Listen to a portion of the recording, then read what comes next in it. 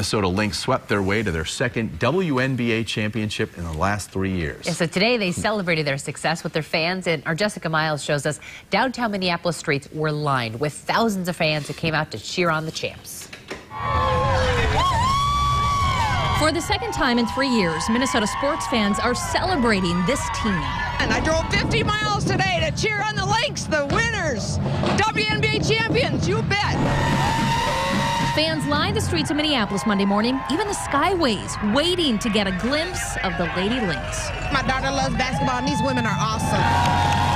As fans screamed around them, players raved about their fans, calling them the best in the league. It's amazing. It never gets old. This is so awesome and special. Uh, people take the time out to come show us the love and support on the street. At the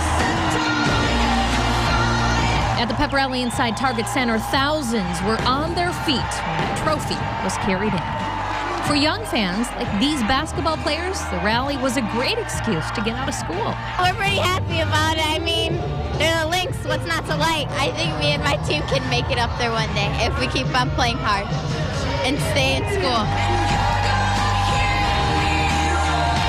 But despite no classroom, the inspirational lesson of seeing a women's team excel wasn't lost on these girls.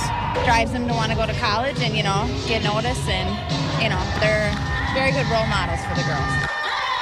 In Minneapolis, Jessica Miles, 5 Eyewitness News. All right, way to go, Lynx. We are all very proud of you. We'll